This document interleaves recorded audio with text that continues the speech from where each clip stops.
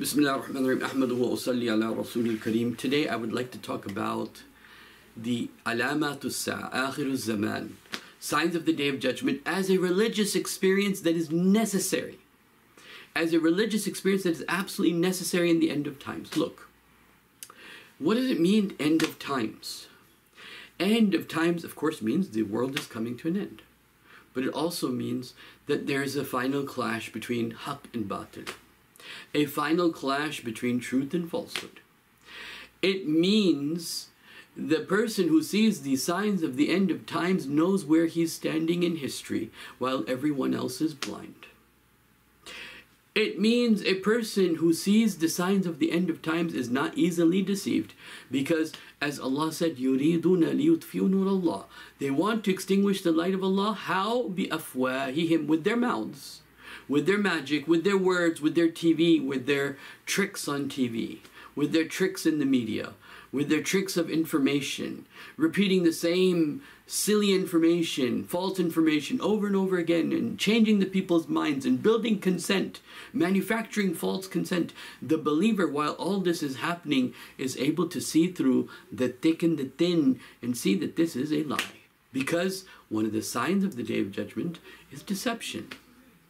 Dajjal, Dajjal is all about deception, and the believer of the signs of the Day of Judgment who sees the tall buildings and says, okay, now must be the time where there's a lot of deception. If you live in a world where you don't see deception on a daily basis, you're not living, you must not be living in a world where there's tall buildings. Because, or you're not living in a world where the, the, all the slaves have been now freed after 1948, or you must not be living in a world where there's no surrogate mothers. But if you're living in a world where you see the tall buildings, uh, then you must be seeing the signs of the day of judgment every day. You must be seeing deception and injustice and poverty and famine and control over resources every day. And if you don't, and you think everything is fine, and you think that everything will keep going fine, and that this progress will keep going as the way it is, then you are blind. It is only a person who sees the signs of the end of times knows where he is in history. And he is the one who can see through the deception. And he or she is the one who sees the war and the clash coming between truth and falsehood. If you don't see the end signs of the end times, and they're not meaningful to you, and they don't give you a religious experience, then you must be blind. Because a person who sees this will know where he is and where the deception is. And then he's not bothered by the little things. He's not bothered by do you pray this way or pray that way? Or do you stand this way or stand that way? He's not bothered, or she is not bothered by these things because she sees that we're all sinking in the same boat while everyone is fighting in the boat. And so the person who sees the signs that we're sinking, we have to get this boat running, is concentrating on the priorities of Islam. Fiqh al-awliyat. What is the priorities of Islam? Will be clear in their mind. And so, those of you who see the signs of the Day of Judgment, who see polytheism coming back to Arabia, the dance that they just had, or the party four day uh, rave party that they just had in Saudi Arabia, those of you that see that, that hey, this is the prophecy of the Prophet coming back. There are people from Arabia now, from Saudi Arabia and UAE, going to temples of the Hindus and saying, I feel peace and serenity there polytheism, like the Prophet said, coming back. When you see this, then you know where you're in history. And if you don't see this, you are going to go just with the flow. And you're going to be deceived. And you're not going to see the truth. And so the people who see the truth will not be deceived because they don't believe everything they, they hear. They just don't.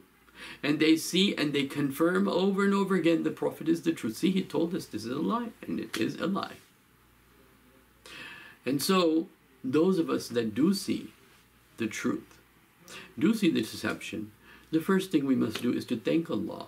We must thank Allah that Allah has allowed us to see something that most people can't. We must thank Allah subhanahu wa ta'ala that Allah has given us. In, we see Ya'juj and Ma'juj going back to the city. That Allah had made a haram for them to go back to, but now they're going back there. Those of you who see reality and are not fooled and deceived by appearances. You should thank Allah. There is much to thank Allah for those who can see.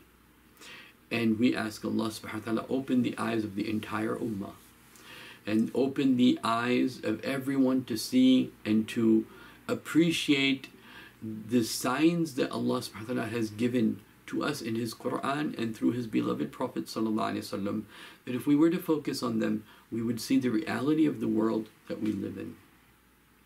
And that the charm of this world, its reality would be revealed.